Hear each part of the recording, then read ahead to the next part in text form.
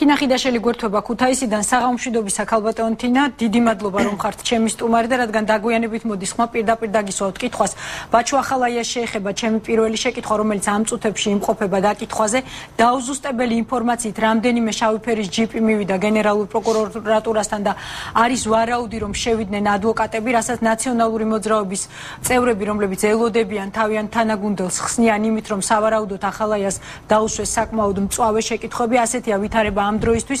მე მაინტერესებს როგორ ფიქრობთ არსებობს თუ არა საკმარისი მტკიცებულებები დღეს ბაჩუ ახალაიას დასაკავებლად და შემდეგ 48 საათში მისთვის ბრალის წასაყენებლად. თუ ფიქრობთ რომ ყველაფერი დამთავრდება იმით რომ მას დაკითხავენ უბრალოდ მოწმის სტატუსით და გაანთავისუფლებენ შემდეგ. ყოველ შემთხვევაში დღეს.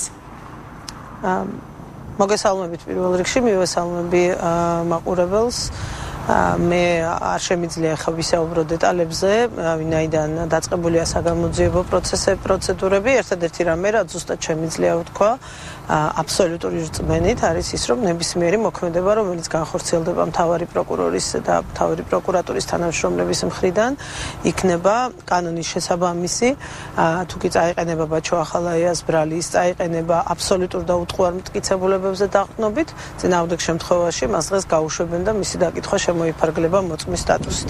მე ამაში ვარ აბსოლუტურად დარწმუნებული, იქიდან გამომდინარე, რომ ჩვენი მთავარი მიზანი და ამოცანა არის დიახ სამართლიანობის აღდგენა დიახ გარდაუვალი პასუხისმგებლობა ჩადანილი დანაშაულისთვის, მაგრამ ეს ისე უნდა გავაკეთოთ, რომ არავის დედამიწის ზურგზე კითხვის ნიშნები არ დარჩეს ამა თუ დაკავებულ პირთან დაკავშირებით და არ გაჩნდეს არავითარი ეჭვის საზოგადოებაში პოლიტიკური ანგარიშწორების ან პოლიტიკურად მოტივირებული დაკავებების შესახებ. ეს არის ჩვენი მთავარი ამოცანა იმასთან ერთად, რომ ძალიან მნიშვნელოვანია ქართულმა საზოგადოებამ დაიბრუნოს რწმენა მართლმსაჯულების, გამოძიების, პროკურატურის და აღდგეს ნდობა ამ ორგანო მოქმედებების მიმართ, რომელიც 9 წლის განმავლობაში ფეხქვეშ ითელებოდა.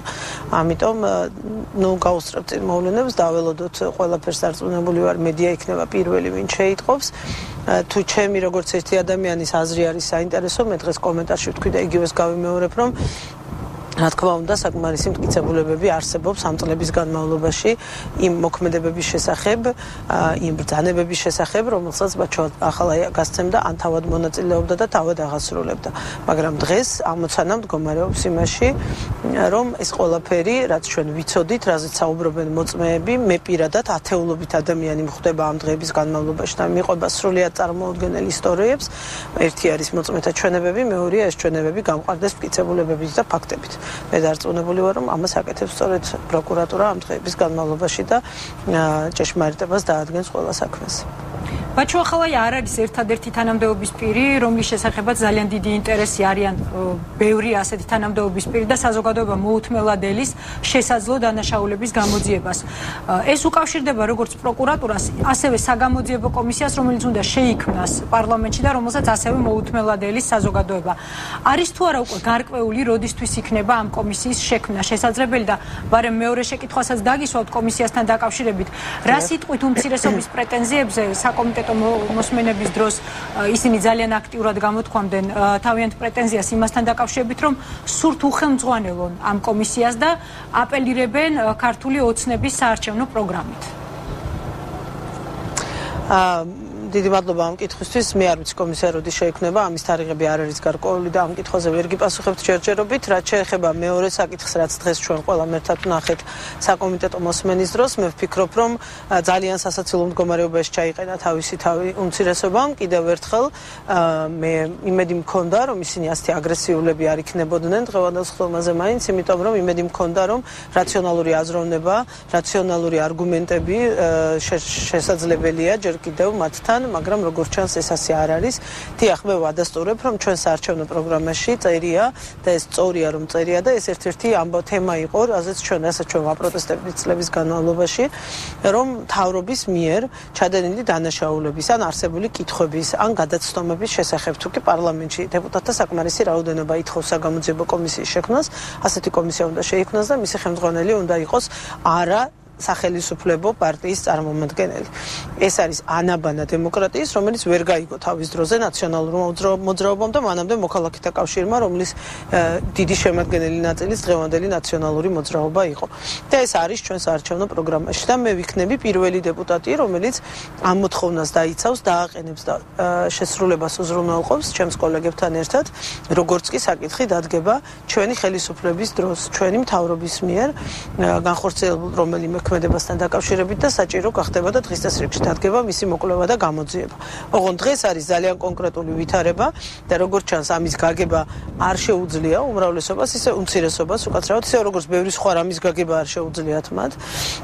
რაც ხდება 1 ოქტომბრის შემდეგ საქართველოში, რომ ჩვენ ვაპირებთ გამოვიძიოთ მათ მიერ, მათი ხელისუფლებაში ყოფნის დროს მომხდარი დანაშაულები, ამას აპირებს საქართველოს პარლამენტი საგამოძიებო კომისიის საშუალებით. იმიტომ რომ გარდა იმ სისხლის სამართლის დანაშაულებისა, რომელსაც რა თქმა უნდა პოლიტიკური უკროცრავ სისხლის სამართლებრივი პასუხისგებლობის საკითხი დადგება კონკრეტული თანამდებობის პირების მიმართ, საქართველოს პარლამენტის პირდაპირ ვალდებულება დაიდოს დასკვნა საქართველოს პარლამენტში 2004-2012 წლებში ჩადენილი დანაშაულების შესახებ, სადაც სისტემურად ერთად და ერთობლიობაში იქნება განხილული მთელი ის პრობლემები, რამაც ქუჩაში გამოიყვანა ჩვენი ათეულობით 1000 თანა მოქალაქე ამ წლების განმავლობაში და რამაც მოიყვანა 1 ოქტომბერი. მაგალითად შემიძლია გითხრათ 1 საათში დადგება 7 ნოემბერი. დიახ. აა რაც არის ერთ-ერთი მნიშვნელოვანი ლაკა ამ ხელის წინა ხელისუფლების დღეს ოპოზიციაში მყოფი ადამიანების პოლიტიკურ ცხოვრებაში. 7 ნოემბერი ეს არ არის იმ ტიპის დანაშაული, მხოლოდ რომელზეც სიხლის სამართლის პასუხისმგებლობა დადგება. 7 ნოემბერს ისევე როგორც შემდეგ კიდევ უფრო ტრაგიკულ 26 მაისს ჭირდება გარდა სიხლის სამართლის კონკრეტული დამნაშავების გამოვლენისა პოლიტიკური შეფასებაც. ეს იყო მასობრივი დანაშაული და მე ვეკუთვნი იმ ადამიანებს, ვინც წინააღმდეგია იმისი, რომ ყველა ყველა ვისაც ჩადენილი აქვს ასეთი ტიპის დანაშაული გასამართლდეს. მე ვარ ამისი კატეგორიული წინააღმდეგი, იმიტომ რომ ის ადამიანები, რომლებიც მაგალითად 7 ნოემბერს ჩვენ გვირთყავდნენ, ისეთივე მსხვერპლი არიან სისტემის, როგორიც ჩვენ ვიყავით, ვიზაც ზალადობდნენ. იმიტომ რომ მათ არჩევანი არ ქონდათ. იმიტომ რომ ეს იყო ისინი ასრულებდნენ თავის სამსახურებრივ მოვალეობას და სამწუხაროდ ასრულებდნენ უკანონო ბრძანებებს.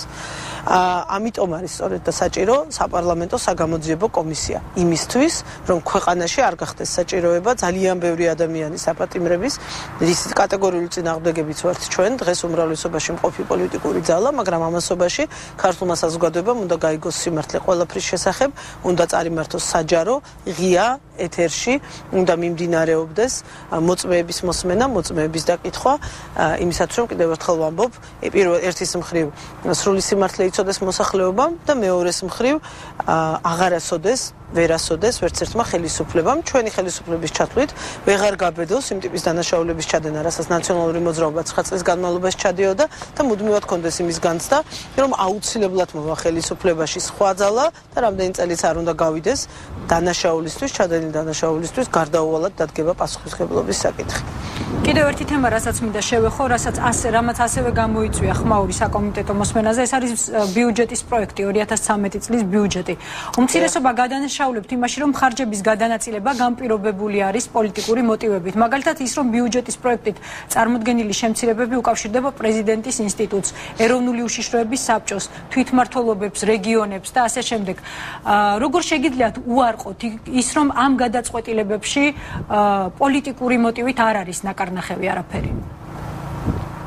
ესე იგი დავიწყოთ ბოლოდან თვითმართველობებით და რეგიონებით. ჯერ ერთი არაფერი მსგავსი არ ხდება, მეორეც თუ ხდება თვითმართველობებთან და რეგიონებთან დაკავშირებით, რეგიონებთან და სხვადასხვა რაიონების ბიუჯეტებთან დაკავშირებით, ნაციონალურ მოძრაობას არ ყავს მხოლოდ მაჟორიტარები რაიონებში, ქართულ ოცნებას აწყავს და ცოტა გაუგებარია როგორ პოლიტიკურ мотиваციაზეა საუბარი. იმიტომ რომ თუ ვინმე დაზარალდება, დაზარალდება ყველა რაიონი და მათ შორის ის რაიონებიც, სადაც ჩვენ გავიმარჯვეთ არჩევნებში. თუმცა ეს არ არის სიმართლე და არავითარი პირიქით ვთქვით, მაქსიმალურ დეცენტრალიზაციაზე და მაქსიმალურად ყველა ინსტრუმენტის გამოყენებაზეა დღეს საუბარი. ჩვენ დღეს შეხვედრაც ქონდა საქართველოს პარლამენტში მაჟორიტარების ქართული ოცნებიდან, სადაც სწორედ ამაზე ვსაუბრობდით, როგორ დავეხმაროთ რაიონებს განვითარებაში და არა პირიქით. მეორე, რაც შეეხება უფრო გახმაურებულ თემებს, მიხელ სააკაშვილთან და სხვა იმ ინსტიტუტებთან დაკავშირებით, რომელზეც უმრავლესობა პრეტენზიას გამოთქვამს, მე მინდა ყველა დავარწმუნო პირველ რიგში ჩვენი ოპონენტები, რომ არც ერთი ინსტიტუტის ფუნქციონირებას არ შეექმნება პრობლემები. ოღონდ პრობლემები აუცილებლად შეექმნება და ჩვენ ამიტომ აგვირჩია ქართულმა ხალხმა და მოგცა ქვეყნის მართვის მანდატი, აუცილებლად შეექმნებათ საკუთარი კეთილდღეობის მოწყობაში და საკუთარი არ ვიცი ბავშვური ოცნებების ასრულებაში. ჩვენ ამ ბოლო დღეებში გამოვაქვეყნეთ პრეზიდენტის რამოდენიმე აქტი და ამ პროცესს გავაგრძელებ მე პირადად ძალიან ბევრი ბრძანებულება ბრძანება და განკარგულება გამოცემული მიხელ სააკაშვილის მიერ ამ წლების განმავლობაში რომელიც გასაიდუმლოებული იყო და მოგეხსენებათ წლების განმავლობაში ვიბრძოდით პოლიტიკოსებით, ჟურნალისტებით, არასამთავრობო ორგანიზაციებით, რომ სარეზერვო ფონდიდან ფულის ხარჯვის დოკუმენტები გამხდარიყო საჯარო და ამას მუდმივად მალავდნენ. ჩვენ ამას გავაგრძელებთ ამ პროცესს, რომ იცოდეს ქართულმა ხალხმა, რაში ხარჯავდა მიხელ სააკაშვილი ფულს, რისთვის იყენებდა და როგორ ფუფუნებაში და საკუთარი სიამოვნებისთვის, გართობისთვის და გახალისებისთვის იყენებდა ქვეყნის ბიუჯეტს, მაშინ როდესაც ამდენი პრობლემა არის საქართველოში, ამდენი ღარიბია, ამხელა უმუშევრობა და ასეთი სოციალური პრობლემები აქვს მოსახლეობას და ჯანდაცვის სფეროზე ხომ საერთოდ აღარ ვლაპარაკობ. ამ ეს აღარ ექნება, ამის შესაძლებლობა ნამდვილად აღარ ექნება მიხელ სააკაშვილს. აი ამას ამბობს საქართველოს ბიუჯეტი. როგორც ინსტიტუტს, პრეზიდენტის ინსტიტუტს, არავითარი საფრთხე არ ემუქრება. და თუ კი მას აი ამ შეკვეცილი ბიუჯეტის გამო მოუწევს საპრეზიდენტო სასახლიდან კანცელარიის ბოლო სართულზე გადანაცვლება, არც ამაში არ უნდა იყოს არავითარი ტრაგედია, იმიტომ რომ მე ძალიან კარგად მახსოვს მიხელ სააკაშვილი 2004 წელს როგორ პირდებოდა რომ ეკონომ კლასით იფრენდა და მისი მთავრობა იქნებოდა განსხვავებული, იმიტომ რომ ეს არ იქნებოდა ფუფუნებისთვის, არამედ იქნებოდა ხალხის პრობლემის მოგორებაზე აწყობილი. დღეს მოვიდა საქართველოს ხელისუფლება, რომლის თავარი ამოცანა არის ბიუჯეტს მოაჭრას ყველა ხარჯი, რომელიც არაფერში არ ჭირდება ქვეყანას, არა არაფერში არ ჭერდება ქვეყნის განვითარებას, არაფერ კავშირში არ არის ამა თუ იმ ინსტიტუტის განვითარებასა და სტაბილურობასთან. და ეს ფული, აი ეს დანაზოგი სახელმწიფო დაწესებულებებიდან და ინსტიტუტებიდან გადაიტანოს სოციალურ პროგრამებში, ჯანდაცვის პროგრამებში, განათლების პროგრამაში და სოფლის მეურნეობის პროგრამაში. ეს არის ჩვენი პრიორიტეტები.